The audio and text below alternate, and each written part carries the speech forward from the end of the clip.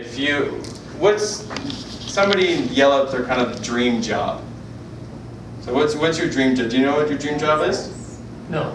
Okay. Does somebody else have a, like a dream job or something that they would want, always wanted to have or own or be? I know it's a big thing. Oh, that's okay. No one? Vampire. Want to, I want to own my own art studio. Art studio, perfect. Okay. Arts studio. So I'm gonna help you own your own art studio. Yeah. sweet. Um, so the thing is, if you're starting from here and you say, I want to own my own art studio, it could be I want to lose five pounds. It could be I want to be on TV in four months. It could be anything along those lines. Really could be anything. That's why it's like goal setting has no kind of boundaries that way.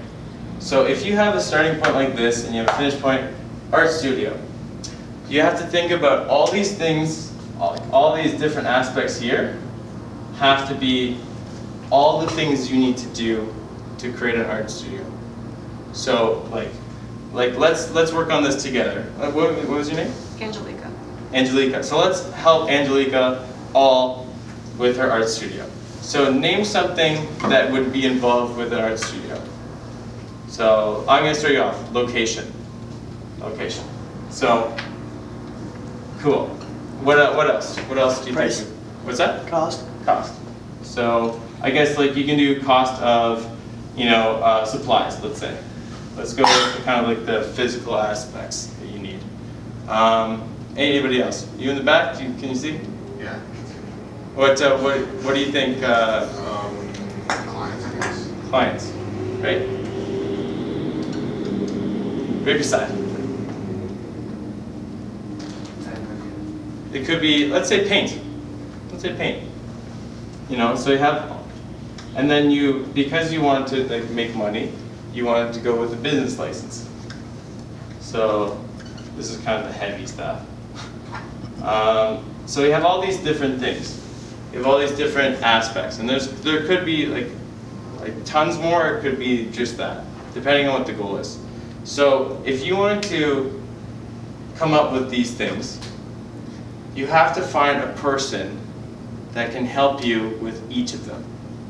So whatever the goal is, whether it's to be a real estate agent or, or own a commercial building or lose 10 pounds or something like that, you have to have somebody that can help you with each of them.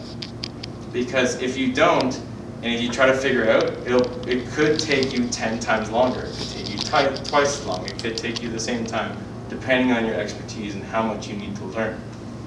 So if you have a location here, and you needed a location for your stuff, maybe there's somebody who has an art studio already, right? Maybe there's somebody who's willing to share the space.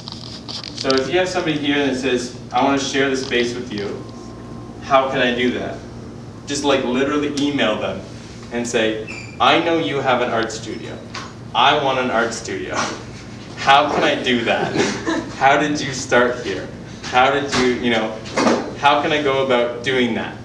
Like, and there might be, the thing is, if it's, if somebody has made an art studio before, um, they'll tell you, because that's the pathway that they got there. And you're kind of flattering them by finding out more about them. So for example, um, let's say cost, cost and supply.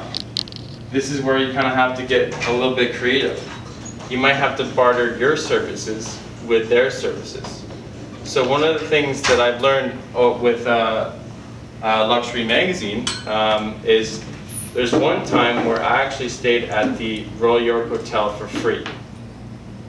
Everyone's like, well, that costs a couple hundred bucks.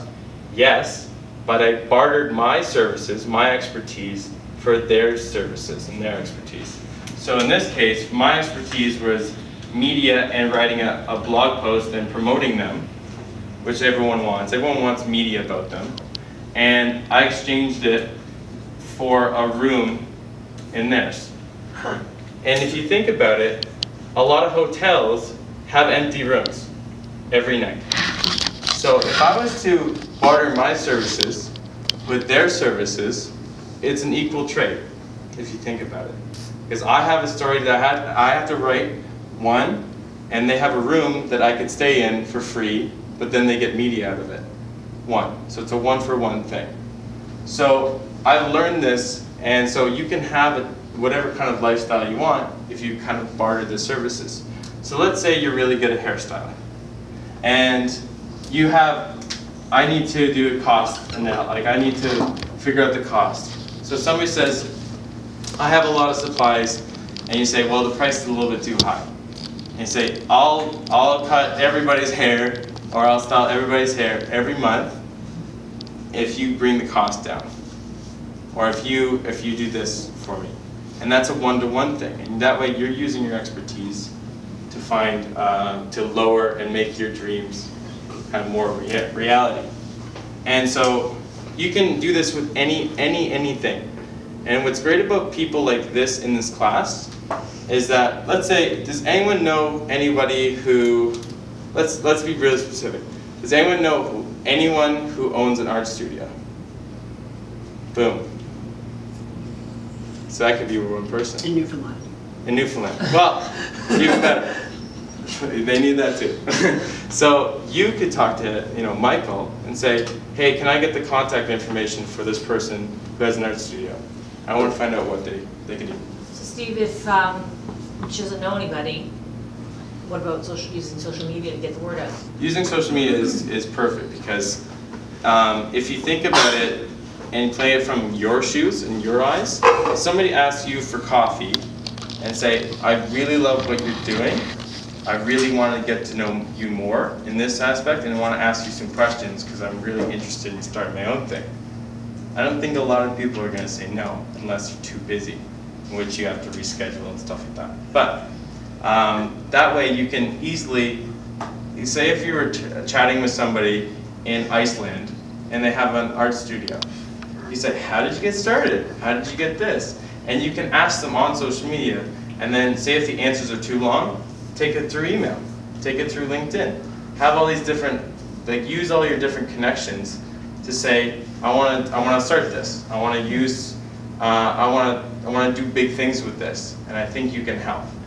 And so whether it's like location, cost, clients, clients you can use to find social media because uh, one of the things that I use that's free is called, uh, I'm gonna write it down, is called search, search.twitter.com. Has anyone ever used it? No, they haven't talked about Twitter yet. Okay. Okay, who's on, who's, is everyone on Twitter right now? No, put up your hand if you're on Twitter. I have no idea what Twitter is, but I'm on. Yeah, I'm not using it. Cool. I like it. Um, so with Twitter, Twitter's the most. Like, is everyone who's on who's on Facebook? Put up your. Everybody. Okay. Everyone's on Facebook. Cool.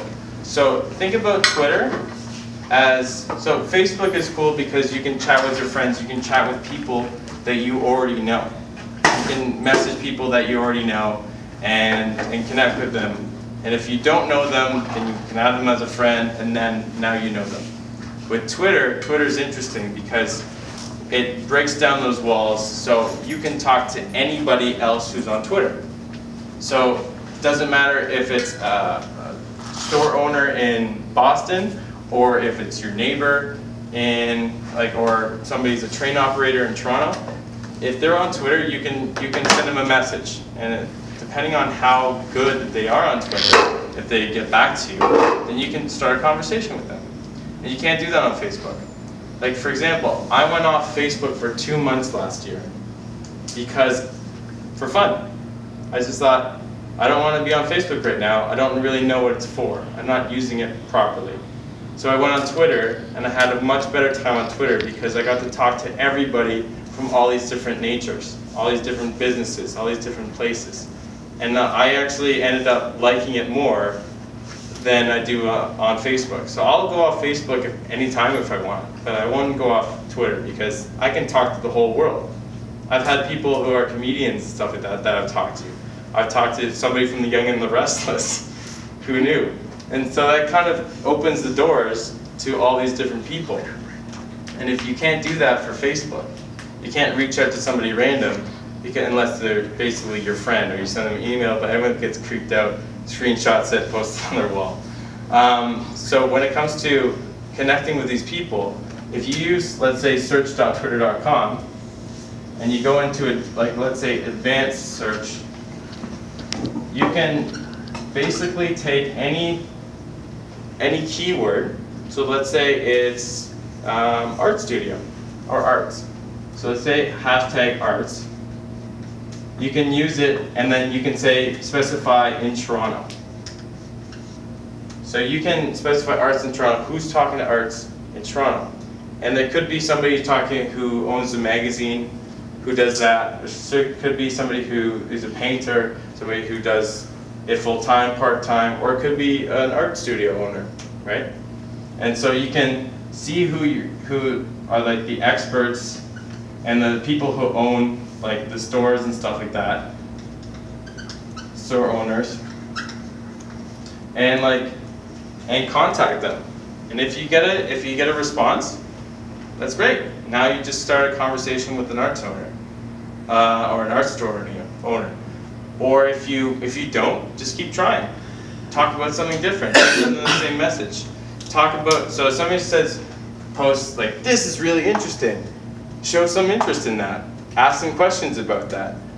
Treat it treat it like if you were on the receiving end of all these questions and stuff like that. If you put a blog post out about let's say arts or developing your own art studio and somebody said i'm really interested in that then you're going to love that you're going to love the like the attention that you're getting and what's interesting about twitter is everyone's basically a narcissist so everyone likes to talk about themselves everyone likes to talk about themselves they all like to hear about themselves and stuff like that so if you have everybody talking to them uh, about themselves and if you show interest in that then all of a sudden they're going to show interest in you. So if you like talk to them like, oh, I had a great salad today. I went to I went for a great bike ride, and then you say, oh, great. What? Where did you go on your bike ride? They're like, oh my God, they're interested in my bike ride. It's same goes. That's like the lowest you can go, but the same goes for everything.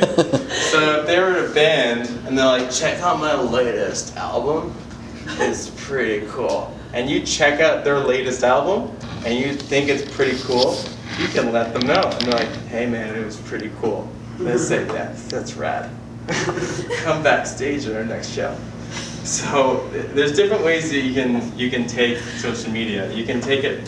People, a lot of people don't use it because they don't know what to use it for. And when it comes to that, I always say if you know about your interests, like let's say hairstyling, or let's say cool designs on glasses, or if you're into glasses, or somebody name uh, another hobby, I guess you could say. So you who came in, Uh, hat, hat apple juice. What's going on? apple juice. I don't know, it's a hobby. What's uh, what's one of your interests? Hockey. Hockey, perfect.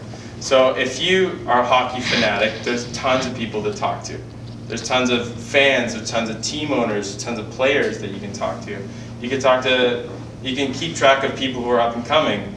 And if you're wanting to get into that industry, maybe there's an opportunity there. And say, because I've had it where I've come up with ideas. Like I have an idea for food bloggers, because I don't really like food bloggers.